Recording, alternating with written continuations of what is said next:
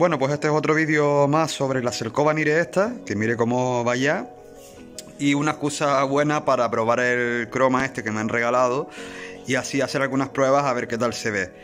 Voy a comentar alguna cosa que creo que es de vital importancia antes de empezar el vídeo y es que bueno, eh, como ya sabrán algunos y otros no, pues aquí bueno las estaciones están un poco rodadas, ¿vale? O sea aquí mm, el otoño pues entra un poquito más tarde que algunos de ustedes, que ya he visto ya que los árboles empiezan a otoñarles y por el contrario, pues bueno, después pues se extiende un poquito más la, estación fría en comparación a ustedes. ¿Qué quiero decir con esto? Bueno, pues que estoy todavía a tiempo de coger y hacer un último trabajo en mis árboles, porque ya se empieza a notar el frío, eh, a, diferencia de ustedes que he visto que en algunos puntos pues ya, oye, pues los árboles están empezando a caducar, otros pues que ya van un poquito más aceleraditos y tal. Bueno, aquí de momento pues sigue la actividad, ya se empieza a notar sí el, descenso, ¿vale? Ya no tiran tanto como antes, algunos ya incluso ya empiezan a, a mostrar colorido y ya toca, oye, pues acelerar un poco lo que haya que hacerle porque ya vamos pues pasados. Vamos un poquito pasados de fecha. Eso también sirve un poco ya como moraleja para la que la gente sea un poquito más crítica a la hora de, escoger las fechas de trabajo. O sea, yo no soy partidario de los calendarios, de las fechas en plan, oye, a principios de septiembre haz esto y después ya en marzo haces lo otro y tal. No, o sea, hay que ser, em, hay que vigilar un poco los árboles, incluso dos árboles igual de la misma especie, uno al lado del otro, pues oye, uno va a ir a, su bola y el otro pues va a ir a su otra bola. Así que nada, voy a apurar un poquito el trabajo este y voy a hacer un semidefoliado, ¿vale? Lo que voy a hacer es un poco intentar pues fomentar las yemas y que estire un poco y así lograr un pequeño avance. A ver si con suerte consigo de que no, no toñe antes de tiempo y, se pierda, porque además es un riesgo. Si la rotación está muy tierna, pues se va a quemar seguro, se va a estropear y, lo que en principio es un avance, pues va a ser un, un paso atrás y es lo que no quiero. Así que voy a darme prisa antes de que de seguir avanzando días, de seguir sumando días, a ver si conseguimos pegarle un empujoncito más. Si nos fijamos, vemos que ya lo, que había comentado en el vídeo anterior, pues ha salido las mil maravillas. De momento ya las yemas están hinchando aquí. Aquí en cambio, recuerden que fue donde Suki mordió, pues oye, va más avanzado, ya se ven ya los brotillos estirando y en comparación con este pues va más avanzado. Aquí los pinzamos, aquí los pinzó, esa es la diferencia. Aquí vemos también lo mismo, ¿vale? Como, como un poco ya de, de deducción, vemos que las ramas pinzadas fomentaron eh, las yemas en cada una de, las hojas. Aquí igual ya la vemos abierta, acuérdense que estas eran hojitas que bueno que ya pues empiezan ya a ramificar. Aquí también y tal, aquí yemas también y demás.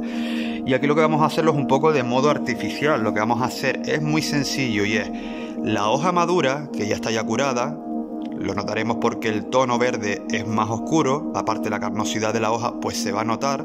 Lo que vamos a hacer es defoliarlo, o sea, la hoja tierna, que es la verde clarita, no la tocamos y la otra en cambio pues la, la retiramos.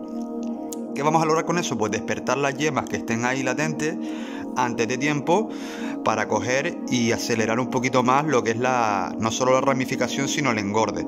Esto no va a suponer absolutamente ningún problema para el árbol, no va a suponer de que vaya a crecer menos ni que lo frenemos, al contrario, vamos a fomentar una brotación lateral para así pues aumentar el, grosor y el tiempo de, de, bueno, de desarrollo de la rama en sí. Si tu estación no es la apropiada, si ya tus árboles empezaron a otoñar, si no intentes hacer esto, te esperas y en primavera lo haces. Pues dicho esto, vamos a empezar.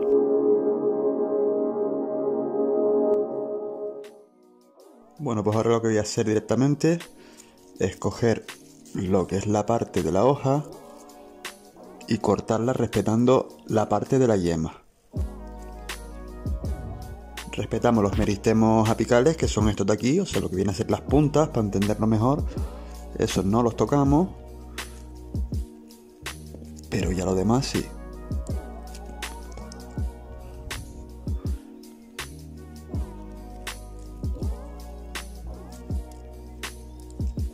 y así con todo el árbol. Yo lo que voy a hacer ahora es defoliar parcialmente todo el árbol y ya mostrar el resultado una vez terminado. Bueno, ya tenemos el trabajo de semidefoliado hecho y ahora pues vamos a revisar si hay algunas cositas que tenemos que rectificar y, ya pues bueno, ya sea alambrando o pinzando algún punto y ya muestro el resultado terminado. Nada, quería mostrarles solamente lo que era la, parte de la estructura, eh, cómo se encontraba tras el defoliado y ahora pues nada, pues a rectificar algunas cositas y habremos acabado. Decir que esta rama de aquí es temporal porque va a ser reemplazada por esta otra. La explicación es muy sencilla, bueno, por la proximidad a esta otra rama eh, tenemos ya prácticamente tres en línea, una, dos y tres. Estas tres son las que vamos a usar, ¿vale? De manera pues semifrontal.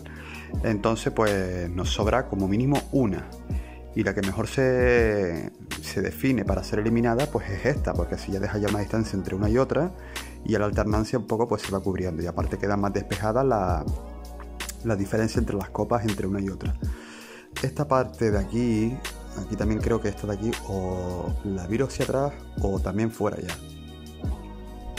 Y ya por supuesto aquí pues también hay que ordenar bastante. Voy a mostrar un poco ya cómo ya va cubriendo ya la, fíjense los tallitos, ¿eh? lo que había comentado, que poco a poco irían que poco a poco engrosando, a ver si consigue enfocarse ahí. Y la herida pues se cerraría pues más rápido. Entonces pues bueno, pues vemos la corona como habíamos predecido y, vemos ya las yemas pues saliendo, este va más retrasado, este ya va más aceleradito, fíjense que ya casi ni se ve. Vale, pues las hojas que hemos dejado de momento han sido las que no han madurado del todo y quitárselas ahora mismo pues no es prudencial. Así que nada, cuando ya maduren pues desfolaré por completo para que siga espigando el brote y así pues no, al no cargarnos los meristemos pues no lo frenamos en longitud, ya que todavía pues necesitamos eh, ganar un poquito más de grosor como mínimo. Sobre todo en la parte baja. Bueno chicos, pues no sé qué día estamos hoy, sinceramente, lo voy a poner por aquí como siempre. Y como ya vemos, pues bueno, han ocurrido dos cosas. La primera es que me estoy asfixiando de calima, otra vez. Y la segunda, que bueno, ya vemos que los brotes han estirado y sobre todo, y lo más importante, fíjense la parte que habíamos comentado, todo ha salido a pedir de boca. Por otra parte, eh, las partes pinzadas ya empiezan también a hinchar.